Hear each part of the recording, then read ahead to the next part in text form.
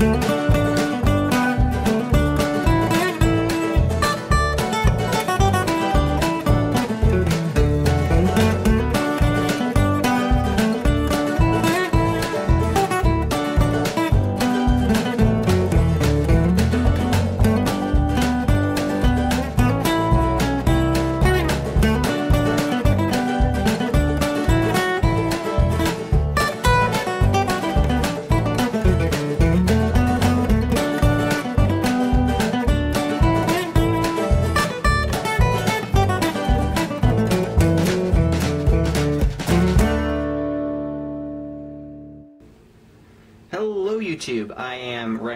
The leader and administrator of the Reptile Guys, and today I'd like to present to you episode 2 of Reptile Care Videos, Southern Alligator Lizard Care.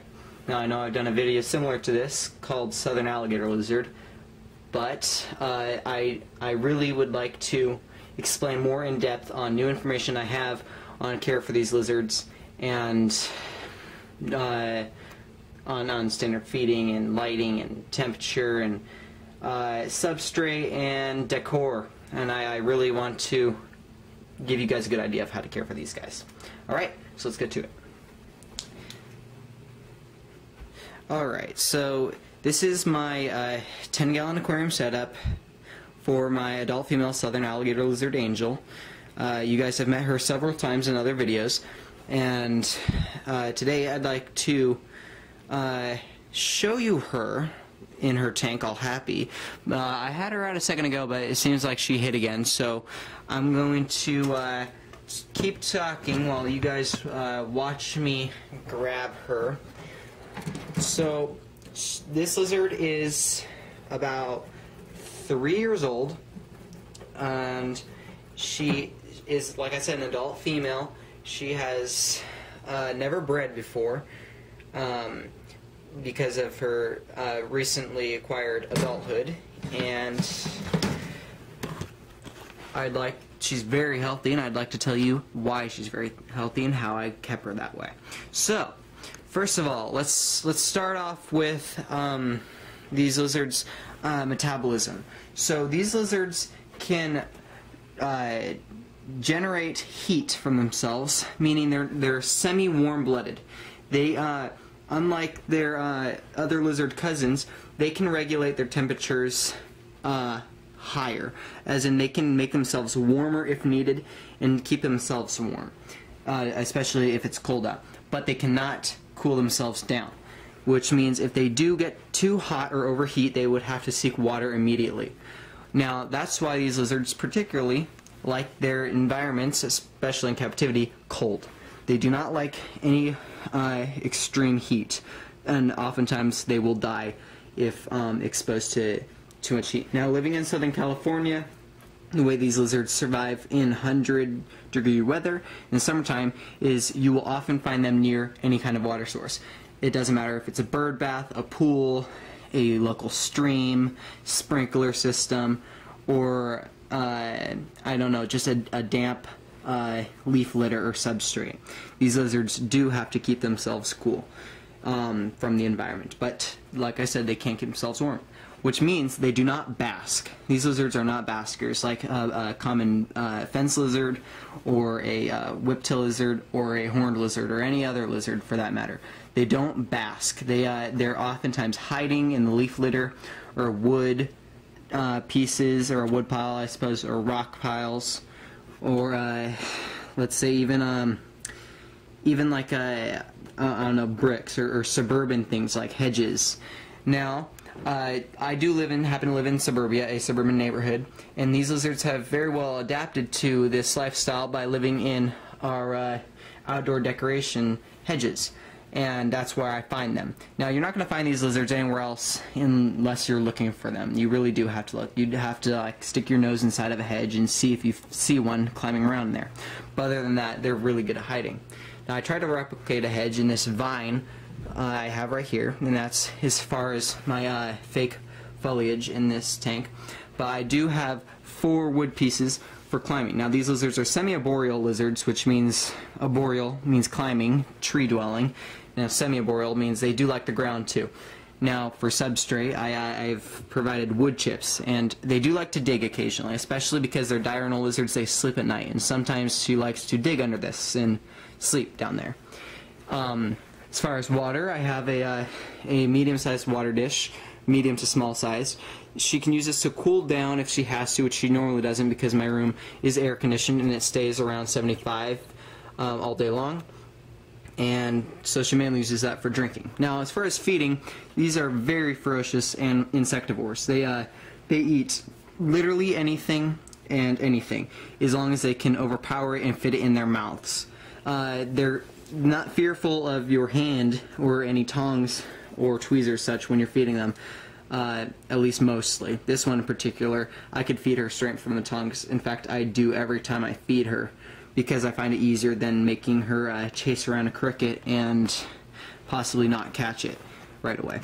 So I like to feed her on time. She's very uh, well scheduled as far as feeding.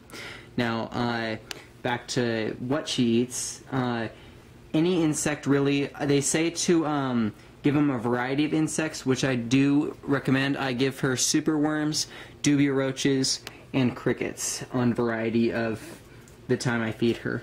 Um, I like to give her at least one superworm and one cricket per feeding, and per feeding uh, is every other day. You can probably get away with feeding them less or feeding them more, but that's that's pretty much the standard average feeding schedule. And uh, depending on their size, of course. If it's a big male that's two feet long, you could probably feed it like four insects, larger insects uh, a day. And then a smaller specimen, probably um, maybe one cricket a smaller cricket or so every other day or so. But other than that, that keeps them very healthy and alert. I oftentimes will take the tongs and tease her around with it, make her chase a little bit so she still gets her instinctive hunting skills. Uh, so she can still practice that in case I do leave a cricket in the tank so she knows how to uh, capture it. Um, they're very, very good eaters, like I said. They, they don't hesitate to eat if they're hungry. But like I said, if you do overfeed them, they may uh, turn down a food item. She's done that before, and uh, her size and her age, she's shown me that she's hungry every other day, and that that seems to work. Now lighting is uh, pretty standard. I do have a heat lamp, even though it's not needed, just in case to keep it um, the same temperature every day.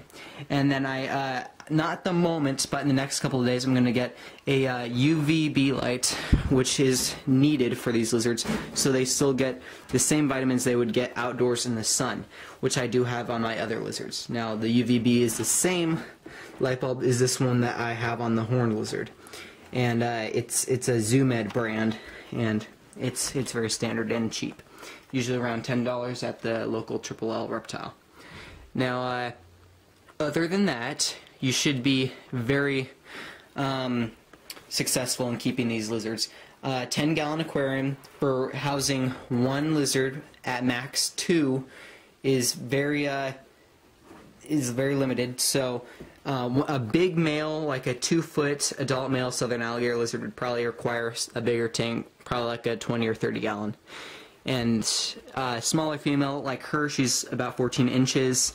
This is a good setup for housing one southern alligator lizard. And she could live her entire life in here very happy. And she has much space to roam around dig climb do whatever she happens to feel like doing. And uh, other than that these lizards like snakes. They shed their skin every month or so. And sorry, like I said, like snakes, they shed their entire skin off, not in pieces like other lizards. They uh, can drop their tails, which is very, which makes uh, Angel very valuable to me because she has that original tail, and it's rare to find a wild one with that same tail. Usually, you'll find a juvenile, which I did find her as a juvenile, and I raised her. Uh, their tails are as well prehensile, which means they can move it, wrap it around your fingers. They use it as far as climbing and balance. So they have control over their tails completely. And uh, breeding season uh, is early spring to early summer.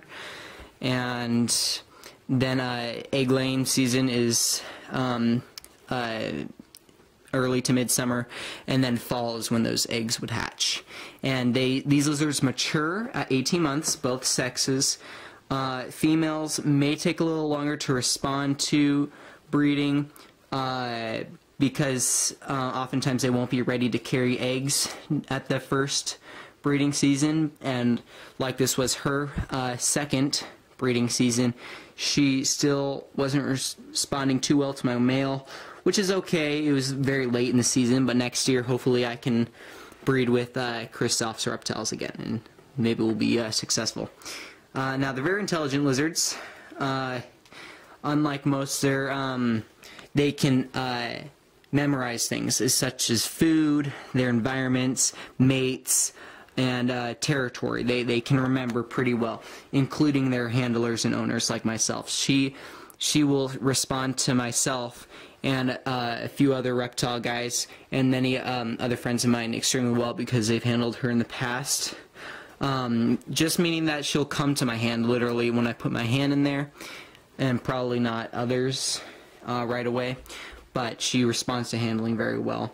Now, they uh, if you handle them often, they should tame down. But a wild lizard, a fresh catch, will bite, musk, and and poop. It's just it's they're very nasty lizards when you first catch them, but after a few years, they they settle down pretty nicely.